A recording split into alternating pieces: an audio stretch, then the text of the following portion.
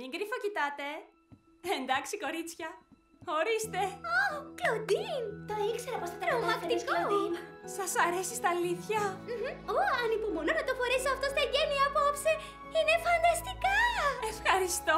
Η έμπνευσή μου οφείλεται σε σένα και τα κορίτσια. Αλλά ακόμα πιστεύω πως κάτι λείπει. Ε, κορίτσια, συγγνώμη που άρχισα μόλις πήρα αυτό το μεγάλο κύμα ενέργειας. Έτσι αποφάσισα να κάνω μια βόλτα γύρω από το σχολείο 14 φορές. Ξέρετε, αφού έκανα την εργασία για την ανθρωπολογία. Ε, ποιος χάλασε τη Φράγκη. Ω, και μετά έκανα το διάβασμα για τα δύο επόμενα εξάμηνα. Για δείτε αυτά. Κλοντίν, αυτά είναι ηλεκτροφόρα. Το ήξερα πω θα τα κατάφερνες. Hey, ακούγομαι σαν να μιλάω γρήγορα, μάλλον μιλάω γρήγορα. Φράγκη, Φράγκη, ρέμισε!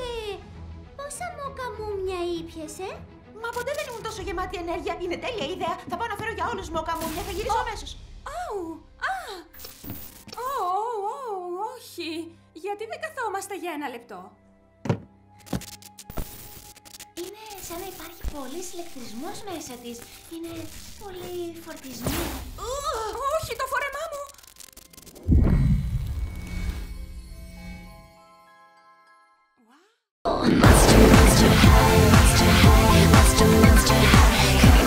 Monster high, monster high, a party never dies. Monster high.